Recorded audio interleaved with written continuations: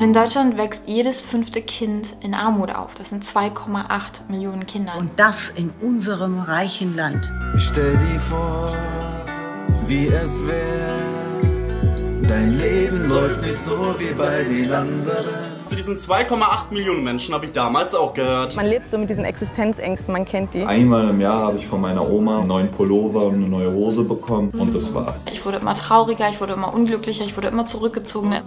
so gehen, innerlich wie eine Qual, wie sie dann davon erzählen. Meine Mutter erzählt mir heute noch, dass eine Fensterbank mein Schlafplatz war. Du kamst dann auch oft, dass ich dann meine Mutter weinen gehört habe. Ich konnte an der Klassenreise nicht teilnehmen und musste stattdessen in den Unterricht. Es passiert bei uns, kein Film, alles Realität, denn Kinderarmut besteht.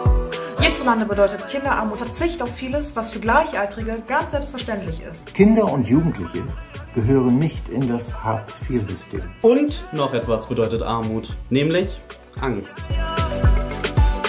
Armut ist kein Problem von Einzelnen, Armut ist ein Problem der ganzen Gesellschaft. Liebes Deutschland, hallo Politik. Wir fordern Stopp, Stopp Kinderarmut. Jetzt.